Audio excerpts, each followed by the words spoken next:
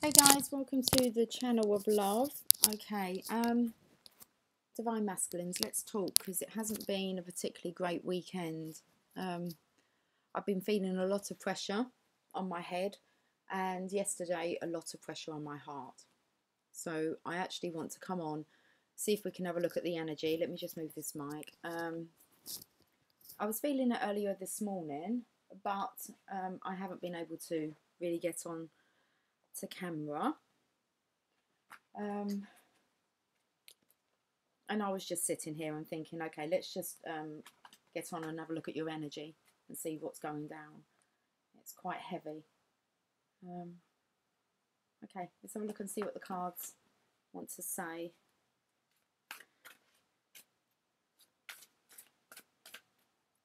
I'm just actually using any cards that I've got to hand. So um, the Druid Craft Tarot.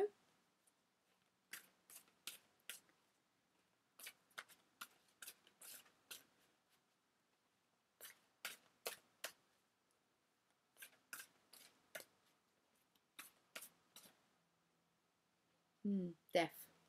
Um, it's the ego.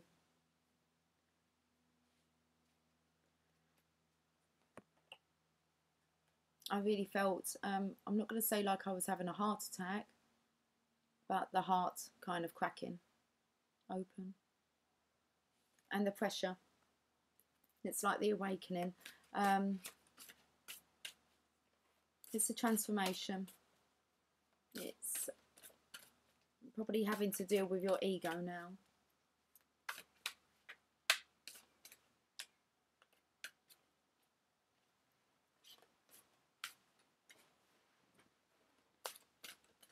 Okay. Maybe we're just going to look at the ego. I'm not sure. Two of Wands. You're fighting against yourself.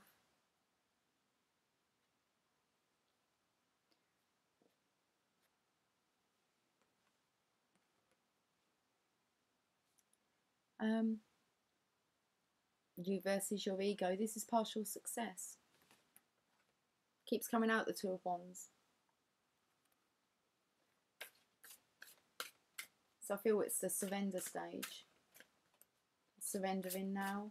Um, which means letting the past go. The past you. So um, kind of all the people that you've been.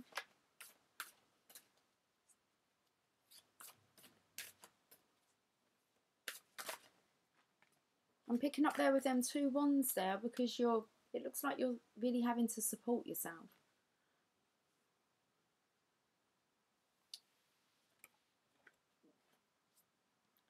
Hmm, Prince of Cups. Um, So I've touched on letting go of the past. This is about being apologetic.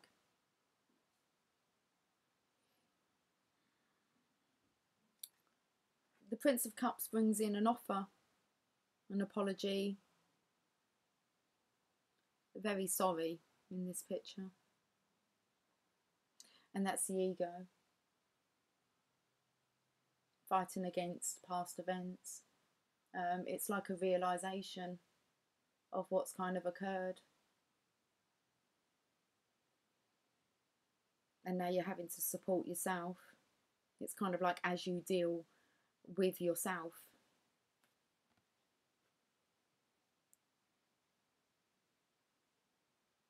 Remorseful here, I'm going to say. Okay.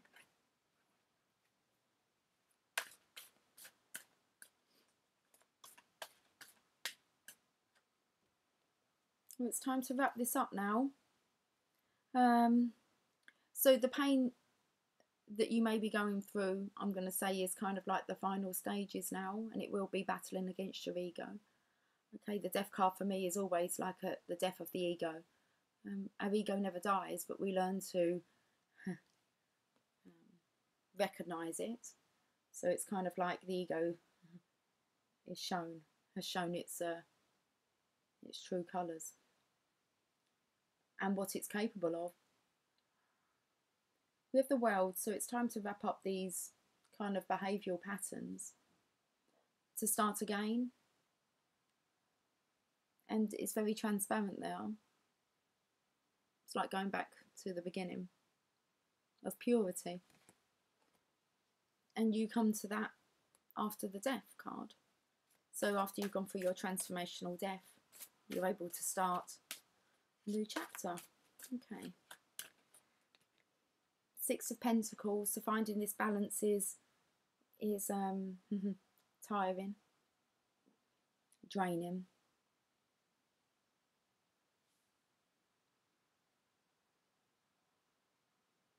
That's like self-support again there, isn't it? You feel like you're giving and giving. So the scales are giving and receiving. Uh, and then we actually, because we have the Prince of Cups here, who is, To say, offering an apology, love. Um, there's a Queen of Cups.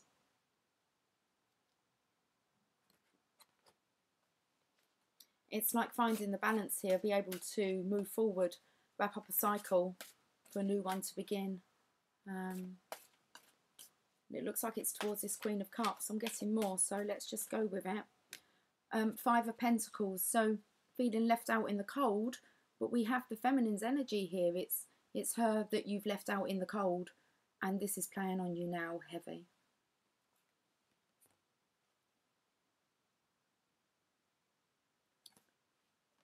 So the Queen of Cups I'm saying here is has been left out in the cold. And it's why while you've been going through your transformation, through your ego death. But your behaviour, it's your behaviour that you're addressing. And it looks like it's your behaviour towards this Queen of Cups about wrapping up cycles for new ones to begin, but it's been draining. It's like you have um, the transformation has really um, taken its toll. The magician's here. Okay. So this is divinely orchestrated. You are in control of this. You can turn this around. With the world card here. Um, and the death card. After you've been through the death and you've wrapped up your cycles, you're now at the beginning again. Where you can use um, it's like your power within to create a new a new cycle, a new pattern, a new way of being. Six of Swords, it's time to move on. There's two in a boat here. Um, this is, now the Six of Swords is about wanting to not address necessarily things of the past. You just kind of want to move to move on to new horizons. Um, but it is about leaving the past behind. The waters are calm, and we have the Lord, which is the Emperor.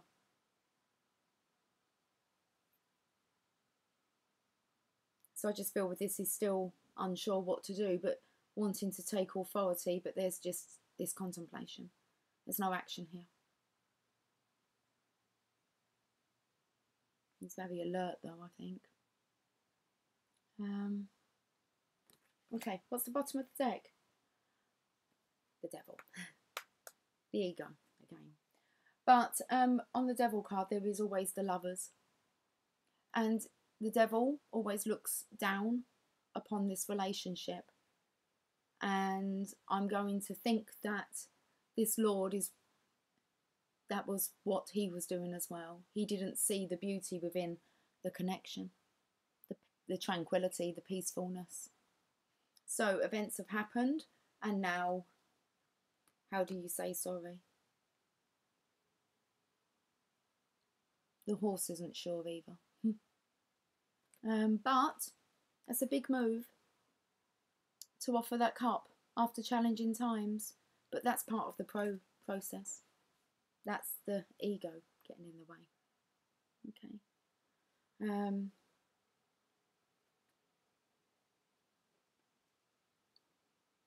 suppose the whole point of this wrapping up cycles so new ones can begin with the transparency that I said. It's about being able to talk about everything and not feeling ashamed or guilt, um, not holding on to that um, against your journey. It was your journey. And whatever was given to you um, will all be to face your own unique, unique fears. Okay, and dealing with the ego for masculines. Not sure what I'm going to use. Okay, I've got Greek mythology cards here.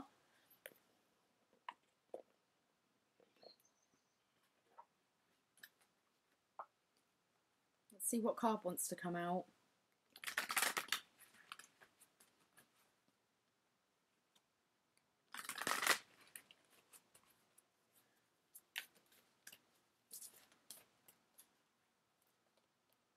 Okay, we'll take you. Themis, Cosmic Order. Yeah, when the Magician came out, oh, it's got doubtfulness at the bottom.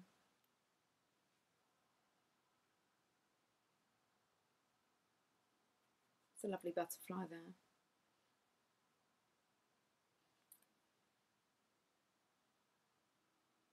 You can actually, what I saw was more of a cocoon so the chrysalis that a caterpillar goes within before, you know, um, evolving into a butterfly.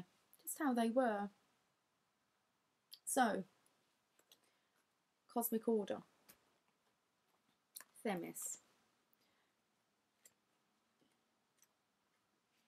Themis was a titan from a time before the Olympus deities. She represents pre existing cosmic law and order rather than the humankind, so this archetype could be called the will of the gods or natural justice. She is the coding written into the natural laws of our world that go back to the beginning of time. I said kind of going back to the beginning, didn't I? I was thinking Adam and Eve, so.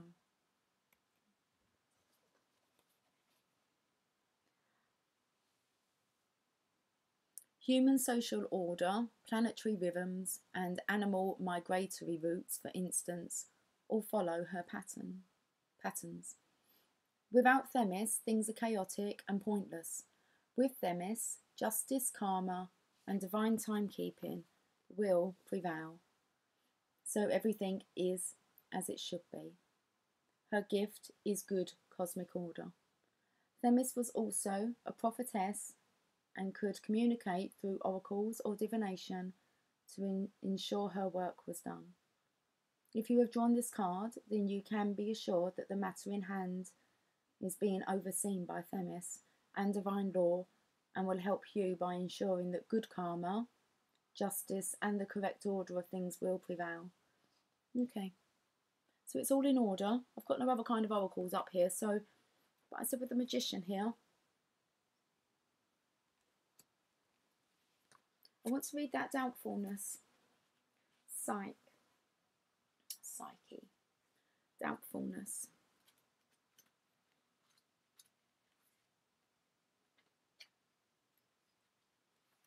Okay, what way are we going?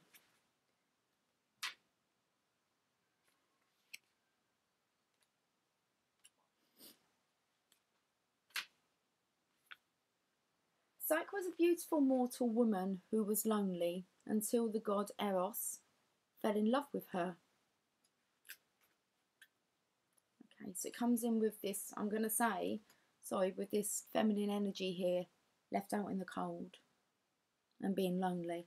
Um, so let's call her Psyche. Psyche was a beautiful mortal woman who was lonely until the god Eros fell in love with her. They were happy enough, but Psyche was filled with doubt and wanted more from him to prove his devotion. She then naively betrayed his trust, putting Eros in grave danger. Eros left, and Psyche was racked with remorse. Picked up about the remorse and grief for many months, causing suffering to the mortal world, but even in her morose state, she was still slow to do all that she could to restore their relationship. However, Eros recovered, and the lovers were finally brought together for eternity by his devotion. What is the moral of the story? Rightly or wrongly, we can question love and cause problems in a relationship. But fortunately, the hot flames of Eros's passion can ignite a reunion, for ultimately the soul needs the life giving passion of love, which emanates and awakens all things. Perhaps you should now have trust and not doubt this, the situation. I think roles are just reversed there. Um, I said about not really trusting this love, how the devil looks down on it, and I want to. Well, the energy is is that I've, lifted the cards and I've left another one, which is Chiron wound, woundedness. Um, and I was saying how the the masculines, the divine masculine's energy couldn't see this connection, and that's due to the ego and kind of social conditioning, how it's frowned upon. But with Psyche here and Eros, so Eros left, and Psyche was racked with remorse and grief for many months, causing suffering to the mortal world, which means we've talked, talk, talk, um, I'll get my words out. We spoke about divine masculine, divine feminine energy coming together, the yin, the yang. Cosmic order, um, this is now when we are being called into our mission, the reason why we're here. Um, which means that you can be, you can at the moment maybe being put through an ex- accelerated ascension process. There is serious pressure um, within the body, which I'm feeling, which means that um, it's happening quickly. Okay. Um, let me read this, Chiron. Woundedness.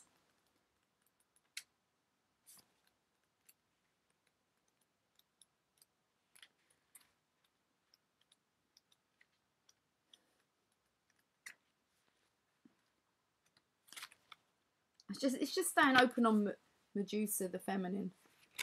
Okay, let's uh, stop messing around and um, there it is.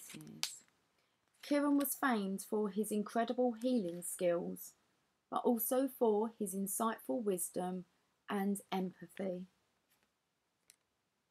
With a deep knowledge of human fra-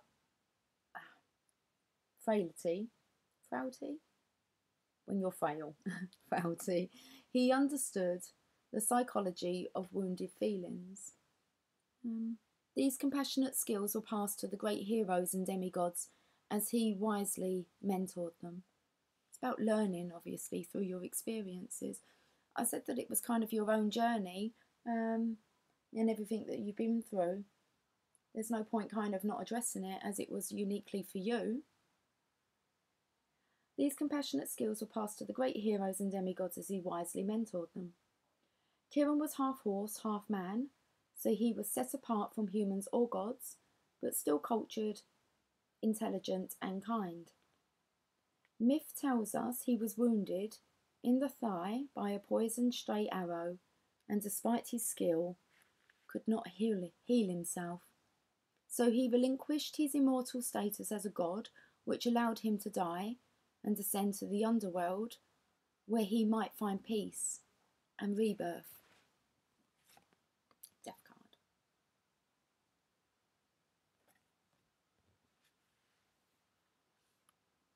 This card implies that sensitivity, compassion, and healing are required now. If someone feels wounded, know that you can find peace within as you seek to understand and heal hid- hidden pain. Be gentle and kind with human frailty, and Chiron will surely help you.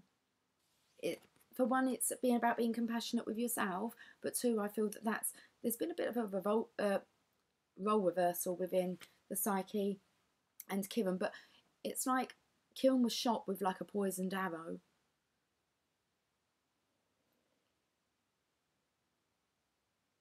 Which caused him to surrender for a rebirth. I just feel that this is arrow breaking through the heart, this broken heart. Okay. Um, what else have I got left? I've got a. Uh, do you want to pull a divine feminine card?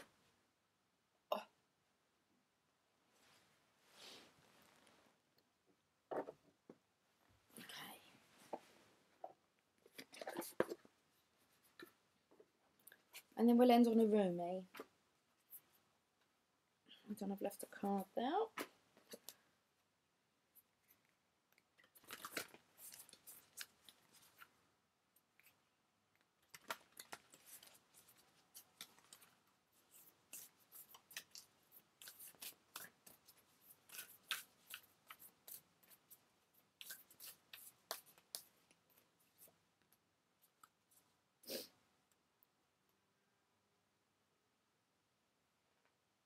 Um, Teresa of Avila, Avila, Avila, Our Lady of the Interior Life. I trust the answers I find within me. I know that the presence of love is real.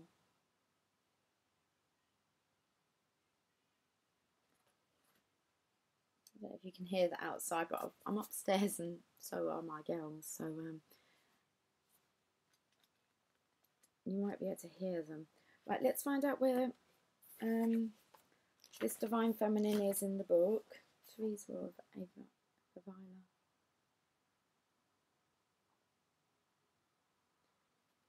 Page number 35. This will read. Not sure if this is what um, we're picking up or actually on the Divine Feminine's um, energy. Um, where the Divine Feminine is at the moment. Okay. With passion and conviction, Teresa of Avila connects to connects us to to the love and truth available to us whenever we turn inward. Saint Teresa was born in Avila, Spain. I don't know if I'm pronouncing that right. In 1515. It's interesting. That's the devil card. devil number is 15. As an adolescent, she experienced many illnesses and was confined to a bed, which allowed her to begin to explore her own thoughts. Yeah, I said that this is about wiping out the divine masculine, really. There's no other nicer way to put this, but it is so that then you have to go within. You can have everything stripped from you um, to make you actually go into solitude, including illnesses, wake up calls. But I suppose you've got to rest first before you have the wake up call. Before you can wake up and be rebirth, I suppose, reborn, rebirth. Let's carry on. She read every book she could find on spiritual on spiritual exploration and contemplative prayer by the time she was a young adult, so she started this during adolescence. So I suppose due to being bedridden, she couldn't, you know, she chose to develop, study. By the time she was a young adult, she knew she wanted to dedicate her life to the interior world. She entered a Car- Carmelite co- convent in Avila in 1535. She increased the emphasis on con- com- contemplative, contemplative prayer and eventually reformed the Carmelite order, which was later joined by St. John of the Cross. Over the course of her life, St. Teresa founded 17 convents throughout Spain.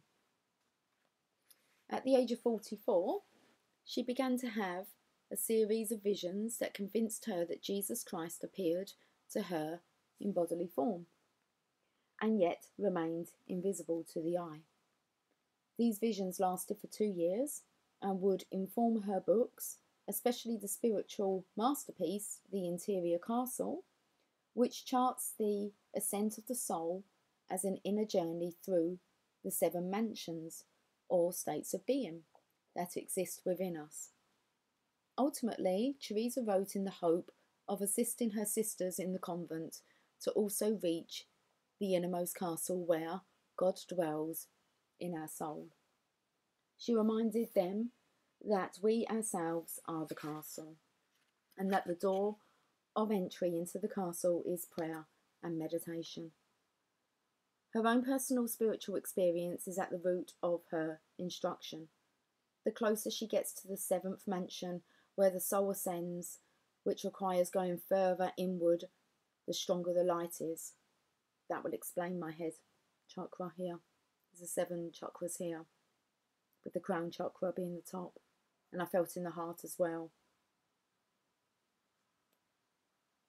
But the pressure on my head. So, um, she describes the way to discern the voice and presence of the divine within us and the certainty of God that arrives that cannot be explained or doubted. This inner journey was so significant to St. Teresa because she believed that God didn't care about the magnitude of anything we do, but rather the amount of love that we do with it. Pope Paul VI named St. Teresa a doctor of the church in 1970. Her spiritual writings are considered integral to the Spanish Renaissance and to the history of Christian mysticism. When your soul selects her card, St. Teresa is a call for the importance of the interior life. She knew intimately about the spiritual wealth we all possess and have access to if we're willing to go inward.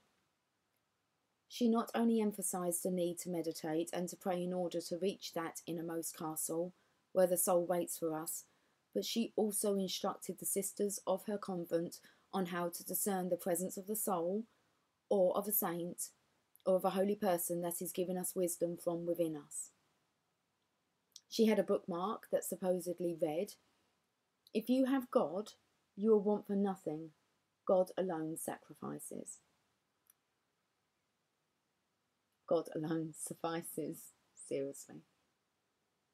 This synthesizes the wisdom of her experience. I better read it again, hadn't I? Because I ballsed it up. She had a bookmark that supposedly read, If you have God, you will want for nothing. God alone suffices. Which means you have to go within, find your own home. Which is what the feminines actual reading, like I done a current reading a couple of days ago. Um, for the feminines, for the divine feminines. And that's it, they're finding their home, the safe space within. Okay. This can be quite hard to let go of the ego to accept that you need to do the same. The ego will try and stop you. Okay. Um, this emphasizes the wisdom of her experience. Nothing less than divine love will satiate a seeker, especially once you have met you have met with it from within. She urges us to meditate, to pray, to go inward and meet with the presence of the soul. And then she asks for us to believe that it is real and that the answers we find are real. She asks us to move that inner truth out into the world with confidence and conviction.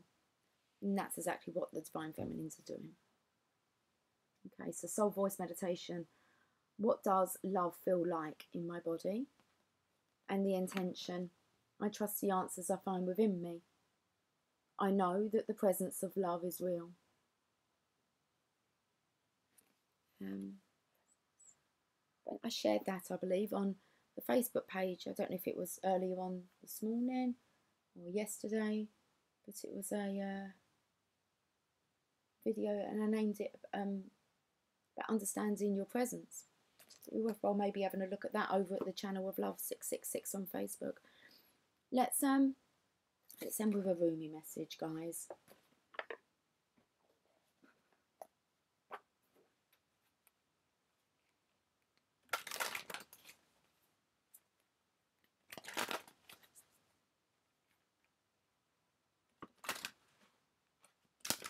Okay, let's give these a shuffle.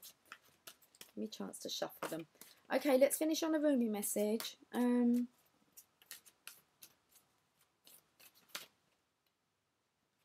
I don't want to take two. Um, so them two just sticking together. It's like I'm following them. It's okay. It says you who show the way. Card number 33. At 33 is um Christ consciousness. Okay, let's read the message.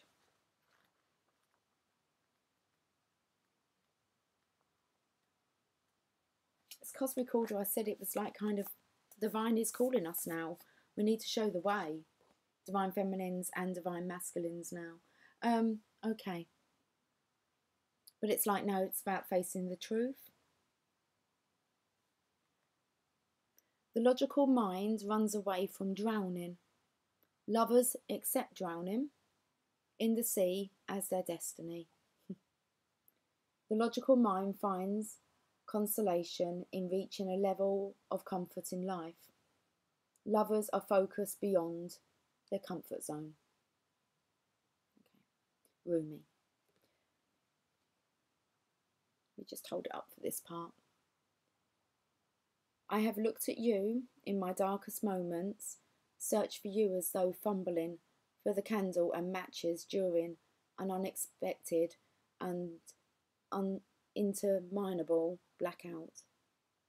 I am the ship at sea, seeking you as my guiding light. Nay, I am the sea, rising up to the horizon because I yearn to be closer to you. Then, oh, to my greatest relief, you rise like a phoenix from the ocean casting hallowed golden light all around you. This great blazing angel of holy fire, in a sweet instant my soul rests in your presence. The sea becomes calm, the darkness abates, your light reveals truth, and through your, loving, your living presence, I know my true self again. I am what you are, even when it appears I am returning after being lost in darkness, as though I could ever be d- extinguished. I am divine light. I am you, a living sun. Even in your unquenchable passion for service to humanity, to the world that offers you so much, there is a time when your most powerful offering is actually and most simply that of your presence. You show the way, you who inspire through how you choose to live and be, you who sometimes think yourself to be invisible, you who consider yourself to be of no particular or exceptional worth. Yes, you, you who through your choice to live your truth, reveal my face, demonstrate my love, embody my presence, heal my beloveds, and love my creations. This oracle comes to you with a special message. You are an inspiration. You are helping those around you, and even many of whom you are unaware. You are doing this because this is your path, this is your way, and this is your gift.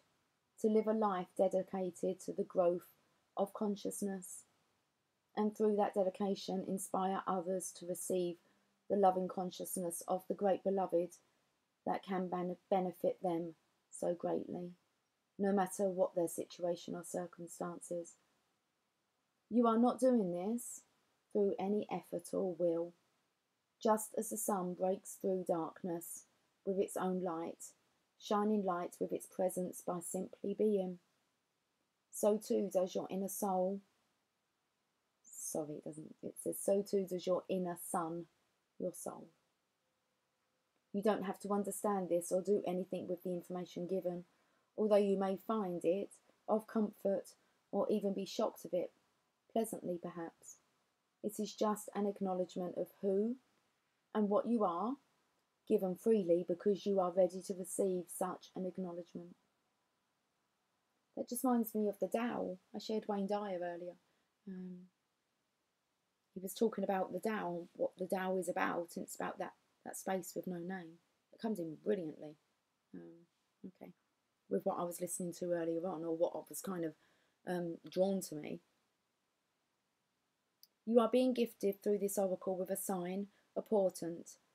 This oracle is an omen, an issue too difficult for you to understand, no matter how hard you have been working on it, is about to be resolved.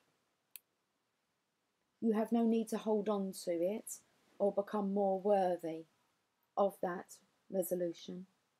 It is going to happen according to the grace of the great beloved, and your job is to allow it to happen, to simply bear witness to its resolution, even if you have no idea what is going on in the process. You may find that whilst you are letting go The resolution happens without you being aware of it until after the fact. Then, apparently, all of a sudden, what was an issue is no longer so. You who help others are a worthy recipient of the great, of the help of the great beloved. Be prepared to surrender all plans and convictions about what you can and cannot be, about what you think you know and what you think you need. Allow the benevolent grace of the beloved to take you through the great waves as the seas become calm and serene under the living divine light. This oracle brings the message that if you have a situation in your midst that feels impossible to resolve, the divine has it covered. Do the sacred honouring ritual and let it be sorted out by a, by a power greater than your own. It shall be sorted out, and your sun shall rise. Just as day follows night, again and again, so too shall your sun rise after any issue or struggle. Have faith and hope, and know that this is a sensible approach to any dilemma, no matter how serious it may seem. For what use is it to bemoan the absence of day even on the longest night, when you know, in every moment, dawn is ever closer to breaking once again.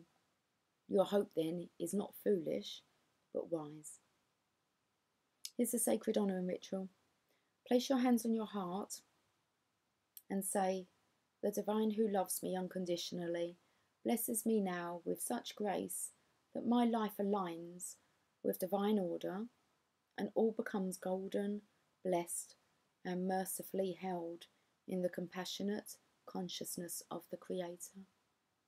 I thank you for the courage and faith I have needed to endure the night. I now celebrate the coming dawn. I see it breaking. I see its light, and I thank you for the I thank you for this mercy. With Rumi, who loves me unconditionally, I am now shown the way to the dawn. It is at my feet, and together we step into the gift of a new day. So be it. If you have a specific issue you would like addressed, hand it over to the Divine Beloved now by talking about it. Just as if you were having a conversation with your oldest and dearest friend, for that is exactly what will be taking place. Then when you've explained your feelings, your doubts or fears, let it go and know that the situation is held in the grace of the great beloved. You have completed your sacred honouring ritual. It's time to let it go. It really is. Um, spoke in the, I can't remember, um, is it the Divine Feminine's card?